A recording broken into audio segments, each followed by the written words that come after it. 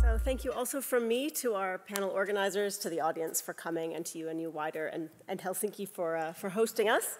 Um, so this um, presentation draws on research that I've undertaken with colleagues um, at King's College London, the University of Liverpool, City University London, um, and uh, not least with our discussant for the day, um, uh, Adam Day at UNU CPR in New York, as well as uh, Aham Al-Maleh. And I'm drawing specifically on the report that we put together um, on this bigger project on authoritarianism and peace building.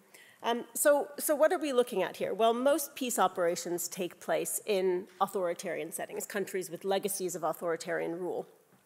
Most peace, peace building missions also have broadly liberal goals. They try to establish democratic or at least kind of inclusive and transparent forms of governance in, in the host countries.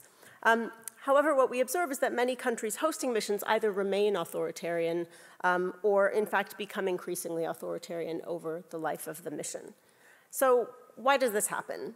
Well, we contend that the UN can inadvertently enable authoritarian rule, and we suggest that there are two mechanisms um, at work here.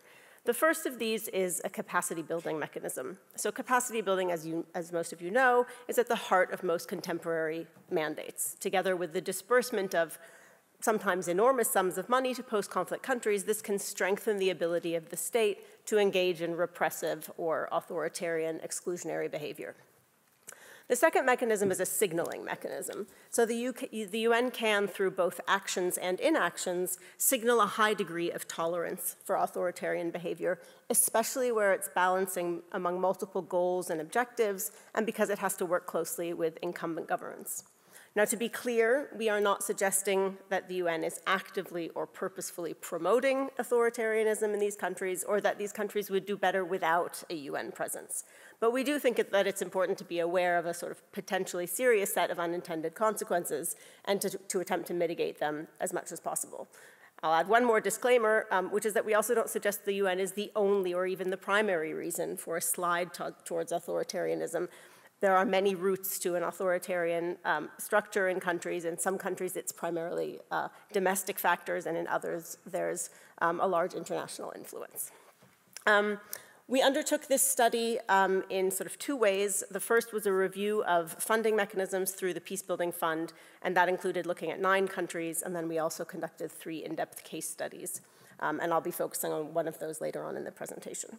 Um, through this uh, empirical work, we identify nine key factors that influence governance trajectories in host countries and show how authoritarian enabling through both the capacity, capacity building mechanism and the signaling mechanism take place.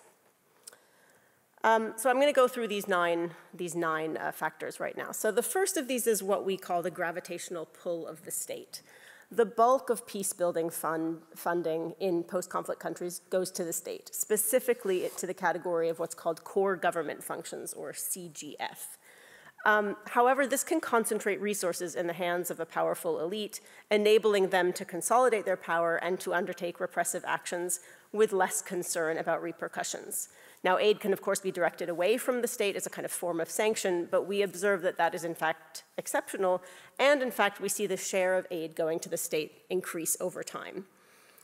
Uh, the second factor we identify is a focus on the executive.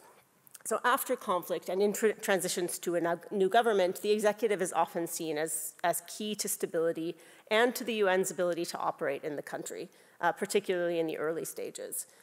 Missions often therefore tend to focus quite heavily on the executive and to provide particular support to them. And I'll add that this support is actually often personalized. It's not just about the office of the president, but it's often about the individual in that role. Now, this high degree of support, however, can often come at the expense of building up other institutions that can balance against the executive.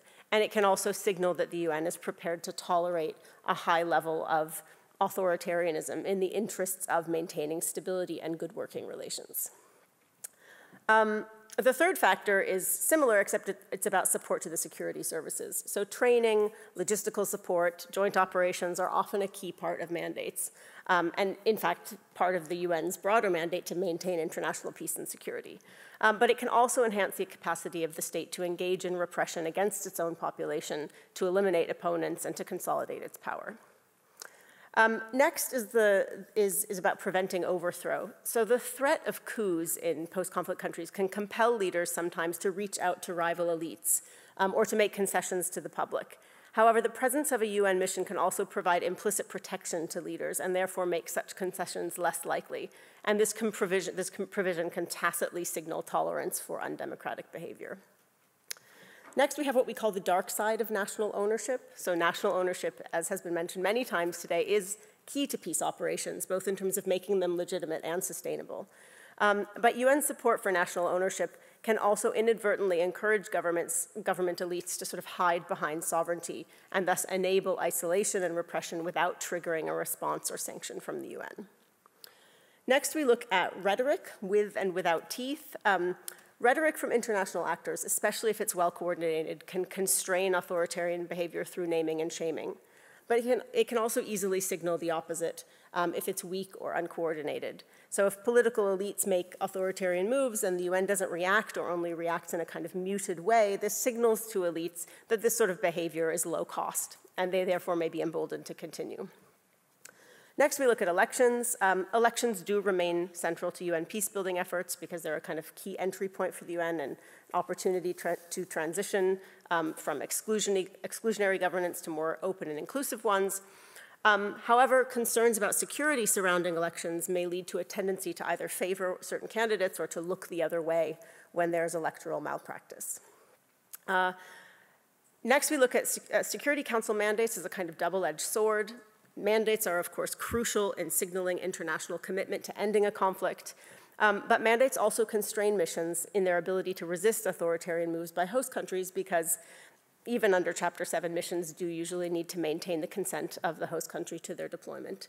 So missions may respond only in a kind of lax way to authoritarian behavior by host governments, um, and that can, of course, signal tolerance for this kind of behavior. And indeed, over the life of a mission, we do observe that the UN tends to generally lose leverage over the government. And finally, uh, what we call the corruption blind spot. Evidence shows that corruption is usually quite endemic in authoritarian regimes. By pouring funding and resources into them, the UN can enable patronage in ways that are characteristic of authoritarian regimes. Yet corruption rarely features in the activities of UN missions, in their mandates, or in reporting from missions, and this signals a high degree of tolerance for this type of behavior. So I will, I'm getting low on time, but I am going to very quickly illustrate this with one of our case studies um, using uh, Congo, so the two missions, MONUC and then MONUSCO. So like other missions, the mandates here have been liberal in nature, um, but during the UN's time there, um, the country has seen a slide towards authoritarianism, particularly under the former president, Joseph Kabila. And we find evidence of both of the mechanisms of enabling that we identified. So first, on the capacity building of institutions, um, the transitional government of 2003 to 2006 was set up in a way that favored a strong presidency, now, a strong presidency in and of itself is not authoritarian, but it came at the expense of other institutions that could have provided checks and balances against the executive. Um, in addition, it wasn't just the presidency, but it was actually Kabila himself. He was seen as critical to stability, to consent, um, and he was a particularly close interlocutor for the mission at that time. Um, and of course, this signaled to him that the UN might be willing to accept lower levels of kind of democratic fairness and, and transparency and accountability in the interests of maintaining stability. Uh, second, capacity building also entailed, entailed support to the security forces through joint ops, um, logistical support, and eventually the creation of the Force Intervention Brigade. And these um, enhanced Kabila's position by boosting the regime's uh, coercive capacity, um, helping to, sorry, I just hit a button on the screen here, sorry about that, um, helping to eliminate threats to his power and signaling robust support for his rule, even when he was sort of behaving less than, less than democratically. Um, in addition, the UN has also signaled tolerance for authoritarian behavior through mild responses to electoral misconduct and repression and weak interaction with alternate institutions. Um, so uh, during the elections in 2006 and 2011, um, the mission broadly supported Kabila, um, largely because he was seen as a source of continuity and it was perceived that a risk to him could be a risk to stability. Um, when he engaged in authoritarian strategies during the elections, um, including intimidating the opposition and eliminating critics and so on, um, the UN's response was relatively muted. Uh, in 2018, Though there was some condemnation of efforts to remove term limits, uh, the UN's response was again generally quite mild, and the UN eventually accepted the results with pretty minimal protest, even though they were widely declared quite flawed. Um, and then, of course, through the life of the mission, the UN interacted um, relatively less with civil society, opposition parties, other political parties, um, and others who could counterbalance the state and the executive. And when there was kind of outright repression against the population, the response was often on the milder side, um, again, signaling the low cost of this kind of behavior.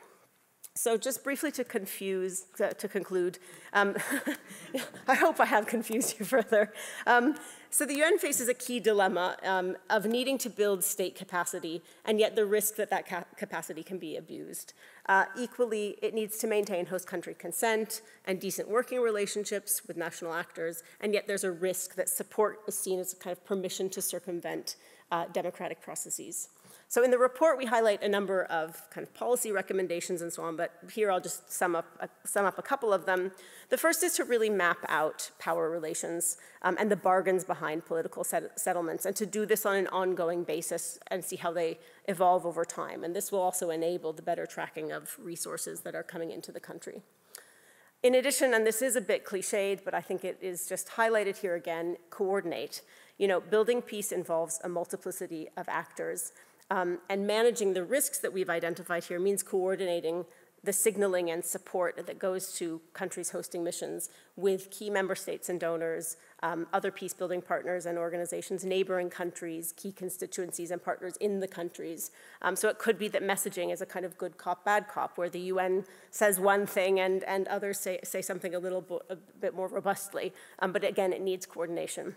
And then finally, I would just highlight the importance of supporting the UN leadership in country when they do push back against repressive or exclusionary behavior um, and having New York sort of fully back up the, the leadership in the country. Uh, I will leave it there and apologies, I think I also went slightly over time. Thank you very much.